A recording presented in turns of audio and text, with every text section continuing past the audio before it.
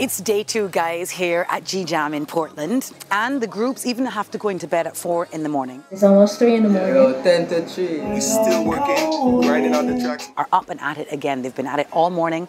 They're in new groups today and they're back in the studio to make a second tune. First, we popped into the drum and bass studio and they were flying with the vibe. All three groups took a different route through their creative process. Abdiel needed some alone time. I've been working with Abdiel. He has a vibe that is kind of similar to mine, but like super melodic, you know? So we vibe because I think we relate to each other. Um, so I'm enjoying that session right now. So like I was in the mall and they called me and they was like, you have a passport? I said, yeah, for sure, I have my passport. And I have no passport, yeah. I honestly didn't see myself being in the competition, so that is why I didn't even bother to apply for it or anything because I was like, yo, I might even get through, so it's best I don't beat up. But uh, I think that that is one of the lessons I actually learned too, to start to believe in myself a little bit more because I could have saved myself the stress. After hours of work, in some groups it was smooth sailing. While back in the drum and bass studio, progress was more difficult.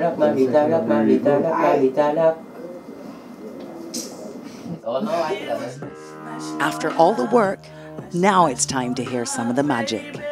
Check some of these tracks, wrap up this day, and reflect. Come and hit it hard tomorrow. Yeah?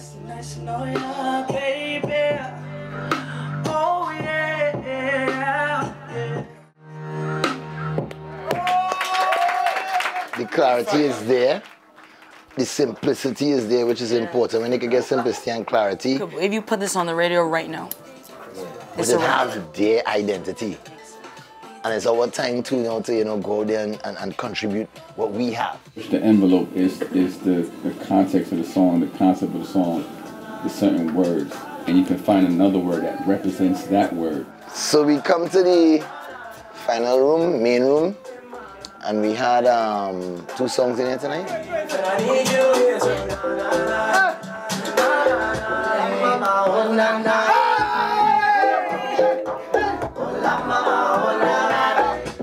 You will give me that nana.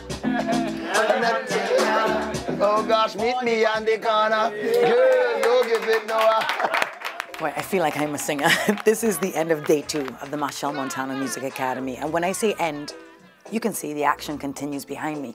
Uh, it was different groups today. They went back into the studio again and made more songs. For some groups, easy sailing. I have to say day two was probably my favorite day in the studio. Shout out to Shaq, shout out to Deputy, shout out to Rai. Just because of the aura and the energy in the room that day.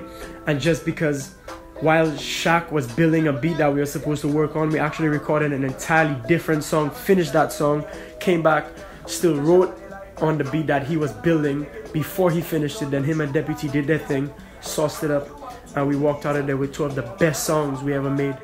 But at the end of the day, in the rap, you could really feel this sense of love and this sense of collective energy that could only come from a man like Machel Montano.